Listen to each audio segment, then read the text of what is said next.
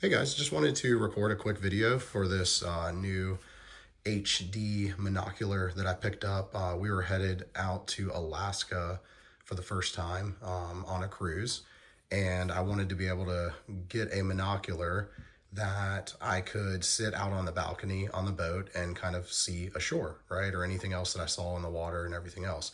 And I can say that this one here served that purpose perfectly. So it comes with some other things um, that you'll see on the product page on Amazon, um, like a little stand, like a phone attachment and all that stuff. Um, I don't have that here with me right now. I couldn't find it, but um, I kind of just used it just like this. And so I did hook my phone up to it at one point, got some cool pictures and some cool videos just to kind of like test that. But for the most part, I just wanted to sit out on my balcony and, and kind of watch. So um, here you can see that this twist and um, kind of like gets your eye uh, set at the correct distance from the actual lens here.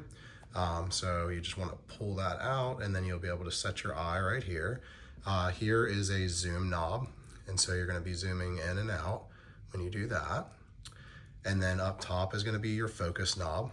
And so you'll zoom in or zoom out and then focus. And then there's a little lens cap protector there and you can see the actual um, lens there. And so this also can attach to most tripods. Again, it comes with like a little stand um, and some other things.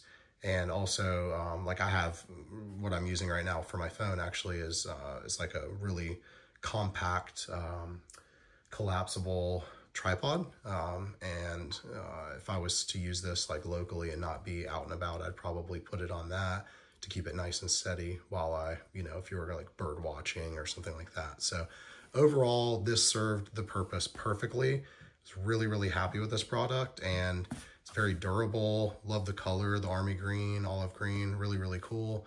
Um, definitely would buy it again and highly recommend it. So hope this helps.